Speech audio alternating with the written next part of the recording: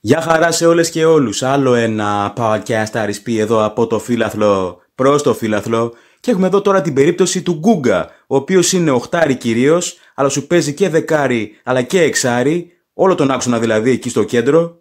Πορτογάλος, ανήκει στη Ρίο Άβε, του Βαγγέλη Μαρινάκη.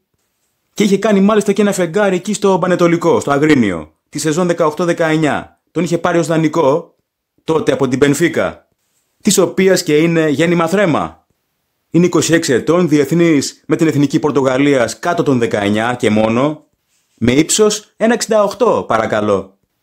Το ερώτημα γενικά είναι το εξής. Μας κάνει ο συγκεκριμένος ποδοσφαιριστής για τον Ολυμπιακό μας. Ναι ή όχι και γιατί. Αναμένω από κάτω στα σχόλια τα φώτα σας και τα υπόλοιπα εννοείται κλασικά, καθημερινά και από εδώ από το δεύτερο κανάλι Αρισπή, αλλά και από το πρώτο, του οποίου ο σύνδεσμος βρίσκεται ακριβώς από κάτω στην περιγραφή, αλλά και ακόμη πιο κάτω σε δικό μου σχόλιο καρφιτσωμένο. Ευχαριστώ για την ακρόαση, τη στήριξη, τα πάντα και σας χαιρετώ. Ζήτω ο Ολυμπιακός!